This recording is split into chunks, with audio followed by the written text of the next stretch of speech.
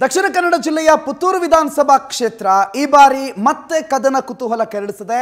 ಈ ಭಾಗದಲ್ಲಿ M L A ಆಗಿದ್ದಂಥ ಒಬ್ಬ ಅಭ್ಯರ್ಥಿ ರಾಜ್ಯದ ಮುಖ್ಯಮಂತ್ರಿಯಾಗಿಯೂ ಕೂಡ ಸೇವೆ ಸಲ್ಲಿಸಿದ್ದಾರೆ. ಈ ಭಾಗದಲ್ಲಿ ಬಿಲ್ಲವ ಮತ್ತು ಗೌಡ ಈ ಎರಡು ಮತಗಳು ಕೂಡ ಕ್ರೋಢೀಕರಣ ಆಗೋದ್ರಿಂದ ಈ ಹಿಂದೆ ಬಿಜೆಪಿಯ ಬಹಳ ದೊಡ್ಡ ಬೆಲ್ಟ್ ಅಂತ ಕರೆಸ್ಕೊಂಡಿತ್ತು, ಸಂಘ ಪರಿವಾರದ ಮೂಲ ಅಂತ ಕರೆಸ್ಕೊಂಡಿತ್ತು. ಆದರೆ ಶಕುಂತಲಾ ಶೆಟ್ಟಿ ಯಾವಾಗ ಕಾಂಗ್ರೆಸ್ಗೆ ಬಂದಿದ್ರು ಆ ಎರಡು ಸಾವಿರದ ಹದಿಮೂರರ ಚುನಾವಣೆಯನ್ನು ಕಾಂಗ್ರೆಸ್ ಗೆದ್ಕೊಂಡಿತ್ತು ಈ ಕ್ಷೇತ್ರ ಒಂದೇ ಬಾರಿಗೆ ಒಂದು ಕ್ಷೇತ್ರದಲ್ಲಿ ಅಂದರೆ ಒಂದು ಪಕ್ಷಕ್ಕೆ ಅಧಿಕಾರವನ್ನು ಕೊಟ್ಟರೆ ಮುಂದಿನ ಬಾರಿ ಆ ಪಕ್ಷಕ್ಕೆ ಅಧಿಕಾರವನ್ನು ಕೊಡೋದಿಲ್ಲ, ಪ್ರತಿ ಬಾರಿಯೂ ಬದಲಾವಣೆ ಮಾಡ್ತಾ ಬಂದಿದೆ. ಈಗಾಗಲೇ sitting M L A B ಇರೋದ್ರಿಂದ ಮುಂದೆ ಬಿ ಜೆ ಅವಕಾಶ ಸಿಗುತ್ತಾ? ಅಥವಾ ಈ ಕ್ಷೇತ್ರದ ಮತದಾರ ಈ ಬಾರಿಯ ಚುನಾವಣೆಯಲ್ಲಿ ಪಕ್ಷ ಬದಲಾವಣೆಯ ಮನಸ್ಸನ್ನ ಮಾಡಿದಾನ ಅನ್ನೋ ಪ್ರಶ್ನೆಯನ್ನು ಹೊಂದು ಇವತ್ತಿನ ಪವರ್ ಟಿವಿ ಇಲೆಕ್ಷನ್ ಸೆಂಟರ್ನ ಸಮೀಕ್ಷೆಯನ್ನು ನಡೆಸಿದ್ವಿ. ಹಾಗಾದ್ರೆ ಏನಿದೆ ಪುತ್ತೂರ್ನ ಸಮೀಕ್ಷೆಯ ರಿಸಲ್ಟ್ ಅನ್ನೋದನ್ನ ನೋಡ್ತಾ ಹೋಗೋಣ. ಇವತ್ತಿನ ಕಾಲ್ ಮಾಡಿ ಓಟ್ ಮಾಡಿ, ಸರ್ವೆ ಎರಡನೇ ಕ್ಷೇತ್ರದ ಮತದಾನ ಕೂಡ ಅಂತ್ಯ ಆಗಿದೆ. ಮಧ್ಯಾಹ್ನ ಪುತ್ತೂರು ಅಸೆಂಬ್ಲಿ ಕ್ಷೇತ್ರದ ಚುನಾವಣಾ ಪೂರ್ವ ಸಮೀಕ್ಷೆ ಪವರ್ ಟಿವಿಯ ಇಲೆಕ್ಷನ್ ಸೆಂಟರ್ ಅಲ್ಲಿ ನಡೀತಾ ಇದೆ. ಪುತ್ತೂರು ವಿಧಾನಸಭಾ ಕ್ಷೇತ್ರದ ಮತದಾರರು ಹಾಗಾದ್ರೆ ಯಾವ ಪಕ್ಷಕ್ಕೆ ಹೆಚ್ಚಿನ ಮತಗಳನ್ನು ನೀಡಿದ್ದಾರೆ? ಈ ಕ್ಷೇತ್ರದಲ್ಲಿ ಟ್ರೆಂಡ್ ಹೇಗಿದೆ. ಸದ್ಯಕ್ಕೆ ಪಕ್ಷಗಳ ಬಲಾಬಲ ಹೇಗಿದೆ. ಈ ಜಿದ್ದಾಜಿದ್ದಿನ ಅಖಾಡದಲ್ಲಿ ಗೆದ್ದು ಬರೋ ಅದೃಷ್ಟಶಾಲಿ ಯಾರು? ಇವತ್ತಿನ ಕಾಲ್ ಮಾಡಿ ವೋಟ್ ಮಾಡಿ, ಸರ್ವೆಯ ಎರಡನೇ ಫಲಿತಾಂಶವನ್ನ ನಿಮ್ಮ ಮುಂದಿಡ್ತಾ ಇದ್ದೀವಿ. ಪುತ್ತೂರು ವಿಧಾನಸಭಾ ಕ್ಷೇತ್ರದಿಂದ ಮಧ್ಯಾಹ್ನದಿಂದಲೂ ಕೂಡ ಪವರ್ ಟಿವಿಗೆ ನಾನ್ ಸ್ಟಾಪ್ ಕರೆಗಳು ಆಗಮಿಸಿದ್ವು ಸಾವಿರ ಸಾವಿರ ಸಂಖ್ಯೆಯಲ್ಲಿ ಕರೆಗಳು ಬಂದವು. ಪುತ್ತೂರು ಕ್ಷೇತ್ರದಿಂದ ಮಧ್ಯಾಹ್ನದಿಂದಲೂ ಕೂಡ ಮತದಾರರು ಕರೆ ಮಾಡ್ತಾನೆ ಇದ್ರು.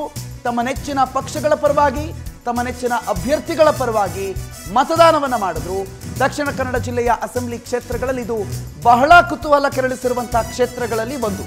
ಪುತ್ತೂರು ವಿಧಾನಸಭಾ ಕ್ಷೇತ್ರದಲ್ಲಿ ಒಟ್ಟು ಇವತ್ತು ಪವರ್ ಟಿವಿಗೆ ಬಂದಿರುವಂತಹ ಕರೆಗಳು ನಾಲ್ಕು ಸಾವಿರದ ಮುನ್ನೂರ ಐದು. ನಾಲ್ಕು ಸಾವಿರದ ಮುನ್ನೂರ ಐದರ ಪೈಕಿ ಮೂರು ಸಾವಿರದ ಆರುನೂರ ಹತ್ತು ಪುರುಷರು, ಆರುನೂರ ತೊಂಬತ್ತೈದು ಮಹಿಳಾ ಮತದಾರರು ಓಟ್ ಮಾಡಿದ್ದಾರೆ. ಹಾಗಾದ್ರೆ ಅವರ ಓಟ್ ಯಾವ ಪಕ್ಷದ ಪರವಾಗಿದೆ? ಬನ್ನಿ, ನೋಡೋಣ. ಅದರ್ಸ್ ಇತರರಿಗೆ ಹದಿನೈದು ಓಟುಗಳನ್ನು ಹಾಕಿದ್ದಾರೆ ಪುತ್ತೂರು ಮತದಾರರು. ಕೇವಲ ಹದಿನೈದು. ಚುನಾವಣಾ ಪೂರ್ವ ಸಮೀಕ್ಷೆಯಲ್ಲಿ ಬಿಜೆಪಿ ಒಟ್ಟು ಏಳ್ನೂರು ಮತಗಳನ್ನು ಪಡೆದುಕೊಂಡಿದೆ.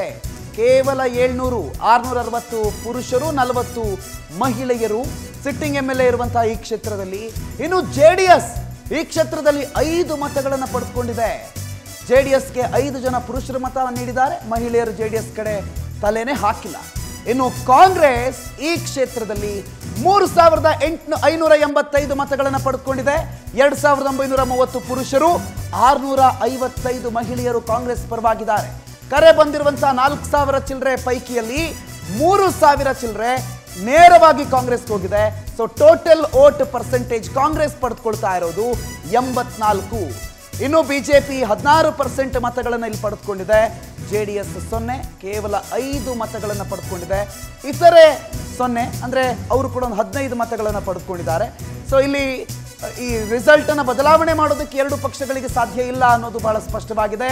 ಆದರೆ ಸದ್ಯದ ಟ್ರೆಂಡ್ ಅನ್ನು ಗಮನಿಸ್ತಾ ಇದ್ರೆ ಪುತ್ತೂರು ವಿಧಾನಸಭಾ ಕ್ಷೇತ್ರದಲ್ಲಿ ಮತ್ತೆ ಕಾಂಗ್ರೆಸ್ ಭರ್ಜರಿ ಜಯವನ್ನು ಗಳಿಸೋ ಸಾಧ್ಯತೆ ಇದೆ. ಹಾಗಾದ್ರೆ ಬಿಜೆಪಿ ಇಲ್ಲಿ ಈ ಕ್ಷೇತ್ರವನ್ನ ಕಳೆದುಕೊಳ್ಳುತ್ತಾ ಸಂಜೀವ್ ಮಠಂದೂರು ಸೋಲಿನ ಸುಳಿಗೆ ಸಿಲುಕೊಳ್ತಾರಾ ಅನ್ನೋ ಪ್ರಶ್ನೆ ಇದೆ. ಸಂಜೀವ್ ಮಠಂದೂರ್ ಅವರ ಸೋಲಿಗೆ ಕಾರಣ ಏನು? ಕಾಂಗ್ರೆಸ್ ಟಿಕೆಟ್ ಗಿಟ್ಟಿಸ್ಕೊಳ್ಳೋದಕ್ಕೆ ಪುತ್ತೂರು ಕ್ಷೇತ್ರದಲ್ಲಿ ಬಹಳ ಜನ ಪ್ರಯತ್ನ ಮಾಡ್ತಿದ್ದಾರೆ. ಕೃಪಾ ಆಳ್ವಾ, ಶಕುಂತಲಾ ಶೆಟ್ಟಿ ಅವರಿಬ್ಬರ ನಡುವೆ ಕಾಂಗ್ರೆಸ್ ಟಿಕೆಟ್ ಪೈಪೋಟಿ ಇದೆ. ಇದರ ಮಧ್ಯೆ ಬಿಜೆಪಿಯ ಮುಖಂಡರು ಕೂಡ ಕಾಂಗ್ರೆಸ್ ಟಿಕೆಟ್ಗಾಗಿ ನಿಂತಿದ್ದಾರೆ ಅನ್ನೋ ಮಾತುಗಳು ಕೂಡ ಇದೆ. ಇನ್ನು ಇವರಿಬ್ಬರ ನಡುವಿನ ಪೈಪೋಟಿಯಲ್ಲಿ ಕೃಪಾ ಆಳ್ವಾ ಅವರ ಪರವಾಗಿ ಮತದಾರ ಒಲವನ್ನು ತೋರಿಸಿದ್ದಾರೆ. ಎರಡ್ ಸಾವಿರದ ಹದಿಮೂರರಲ್ಲಿ ಶಕುಂತಲಾ ಶೆಟ್ಟಿ ಇಲ್ಲಿಂದ ಆಯ್- ಆಯ್ಕೆಯಾಗಿ ಬಂದಿದ್ರು. ಆದ್ರೆ ಎರಡ್ ಸಾವಿರದ ಹದಿನೆಂಟರಲ್ಲಿ ಅವರು ಸೋಲನ್ನು ಅನುಭವಿಸಿದ್ರು ಮಠಂದೂರ್ ಅವರ ಎದುರುಗಡೆಯಲ್ಲಿ. ಸೊ ಇವತ್ತಿನ ಫಲಿತಾಂಶವನ್ನ ನಾವು ನಿಮ್ಮ ಮುಂದಿಟ್ಟಿದ್ದೀವಿ. ಕಾಂಗ್ರೆಸ್ ಪುತ್ತೂರು ಕ್ಷೇತ್ರದಲ್ಲಿ ಮುನ್ನಡೆಯನ್ನ ಕಾಯ್ದುಕೊಳ್ತಾ ಇದೆ. ಬಿಜೆಪಿ ಅಭ್ಯರ್ಥಿಗಿಂತ ಎರಡು ಸಾವಿರದ ಎಂಟುನೂರ ಎಂಬತ್ತೈದು ಮತಗಳ ಅಂತರದಿಂದ ಕಾಂಗ್ರೆಸ್ ಮುನ್ನಡೆಯನ್ನ ಪಡೆದುಕೊಂಡಿದೆ. ಪುತ್ತೂರಿನಲ್ಲಿ ಆಡಳಿತ ವಿರೋಧಿ ಅಲೆ ಎದುರಿಸ್ತಾ ಇದೆ ಬಿಜೆಪಿ. ಇದು ಪುತ್ತೂರು ವಿಧಾನಸಭಾ ಕ್ಷೇತ್ರದ ಚುನಾವಣಾ ಪೂರ್ವ ಸಮೀಕ್ಷೆಯ ಫಲಿತಾಂಶ. ಇನ್ನು ಓಟ್ ಶೇರ್ಗಳು ಯಾವ್ಯಾವ ರೀತಿ ಇದೆ? ಬಾರ್ ಗ್ರಾಫಿಕ್ ಹೇಗೆ, ಏನು ಹೇಳುತ್ತೆ ಅನ್ನೋದನ್ನ ನೋಡೋದಾದ್ರೆ ಕ್ಲೀನ್ ಸ್ವೀಪ್ ಇದೆ. ಕಾಂಗ್ರೆಸ್ ಎಂಬತ್ನಾಲ್ಕು ಪರ್ಸೆಂಟ್, ಬಿಜೆಪಿ ಹದಿನಾರು ಪರ್ಸೆಂಟ್. ಇಲ್ಲಿ ಅದೇ ಬಿಜೆಪಿ ಕಡಿಮೆ ಆಗಿರೋದು. ಒಂದು ಕಡೆಯಲ್ಲಿ ಆಡಳಿತ ವಿರೋಧಿ ಅಲೆ, ಇನ್ನೊಂದು ಕಡೆಯಲ್ಲಿ ಮಠಂದೂರ್. ಈ ಸಂಜೀವ್ ಮಟ್ಟಂದೂರ್ ಅನ್ನುವಂಥ ವ್ಯಕ್ತಿ. ಆ ಕ್ಷೇತ್ರದಲ್ಲಿ ಹಿಂದುತ್ವದ ಪರವಾಗಿಯೂ ಕೆಲಸ ಮಾಡಿಲ್ಲ ಅಥವಾ ಜಾಸ್ತಿ ಜನಮನ್ನಣೆಯನ್ನು ಗಳಿಸುವಂಥ ಕೆಲಸಗಳು ಏನೂ ಮಾಡಿಲ್ಲ ಅನ್ನೋ ಆರೋಪ ಕೇಳಿ ಬರ್ತಾ ಇದೆ. ಇದರ ಪ್ಲಸ್ ಅನ್ನ ಕಾಂಗ್ರೆಸ್ ಪಡೆದುಕೊಂಡಿದೆ. ಅದಕ್ಕೆ ಅದು ಎಂಬತ್ನಾಲ್ಕು ಪರ್ಸೆಂಟಲ್ಲಿ ನಿಂತಿದೆ. ಇನ್ನು ಜೆ ಮತ್ತು ಇತರೆ ಏನು ಹೆಚ್ಚು ಮತಗಳಿಲ್ಲ.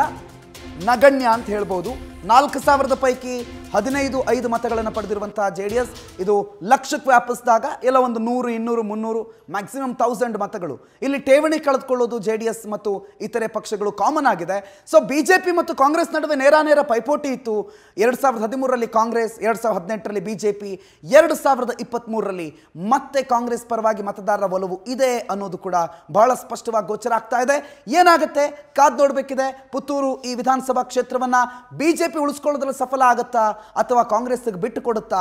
ಕಾಂಗ್ರೆಸ್ನಲ್ಲಿ ಯಾರಿಗೆ ಟಿಕೆಟ್ ಸಿಗುತ್ತೆ? ಬಿಜೆಪಿಯಲ್ಲಿ ಯಾರಿಗೆ ಟಿಕೆಟ್ ಸಿಗುತ್ತೆ? ಯಾರು ಈ ಬಾರಿ ಕಂಟೆಸ್ಟ್ ಮಾಡ್ತಾರೆ? ಎಲ್ಲ ಪ್ರಶ್ನೆಗಳು ಪ್ರಶ್ನೆಗಳಾಗೆ ಉಳಿದುಕೊಂಡಿದೆ. ಆದರೆ ಇದರ ನಡುವೆ ನಮ್ಮ ಚುನಾವಣಾ ಪೂರ್ವ ಸಮೀಕ್ಷೆ ಹೇಳ್ತಾ ಇದೆ, ಕಾಂಗ್ರೆಸ್ ಇಲ್ಲಿ ಗೆಲ್ಲುವ ಸಾಧ್ಯತೆ ಇದೆ ಅಂತ ಹೇಳಿ. ಸೊ ಇದು ಪುತ್ತೂರು ವಿಧಾನಸಭಾ ಕ್ಷೇತ್ರದ ಚುನಾವಣಾ ಪೂರ್ವ ಸಮೀಕ್ಷೆಯ ಫಲಿತಾಂಶ. ನಾಳೆ ಮತ್ತೆ ಎರಡು ಕ್ಷೇತ್ರಗಳು, ಮತ್ತೆ ಬೆಳಿಗ್ಗೆ ಒಂದು ಮಧ್ಯಾಹ್ನ ಒಂದು ಕ್ಷೇತ್ರಗಳ ಸಮೀಕ್ಷೆಯ ಜೊತೆಗೆ ಮತ್ತೆ ನಿಮ್ಮ ಮುಂದೆ ಬರ್ತೀವಿ. Thank you.